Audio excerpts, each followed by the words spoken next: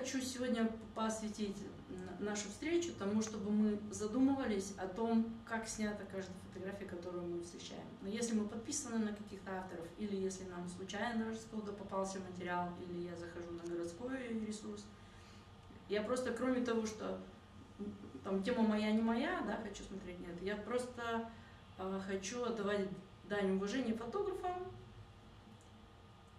понимаете, на что они снимают, как они снимают, и справились ли они с задачей, и уже через это отдавать свой лайк или нет.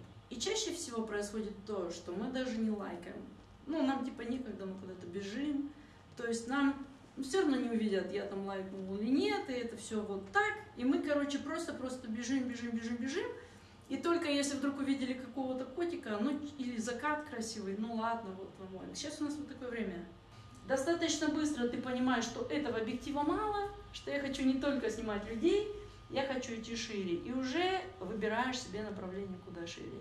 Что тебе нужно? Или телевик, там я боюсь людей, не, не могу подходить, мне надо издалека, тогда телевики выбирают. Или наоборот, в люди, в массы, документальные фотографии, в стрит, тогда нужен широкий угол. Вот если бы широкий угол сняли, он бы откатился назад. Корабль смотрится таким же крутым. Давайте разбегаемся дальше. Наехал на нас. Мы бы не видели всей панорамы. Ну, такой достаточно широкой. Мы бы не видели.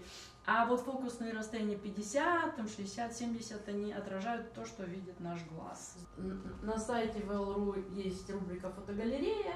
Там просто разный материал с названиями и листаешь. И я вот э, несколько сюжетов взяла, мы по ним пройдемся быстро, для того, чтобы понять в целом, что телевики в репортажах почти не используются. То есть выгоднее взять э, кошка, либо мышка, либо жучка, либо птичка, либо человек, но кто-то в кадре должен появиться. Так чаще всего. Но нам это важно. Вот уберите людей из кадра, и будет непонятно, зачем сделан этот снимок, правильно? Здорово, да? Вот смотрите, дорога как будто бы уходит вон туда. Есть такой эффект? Да.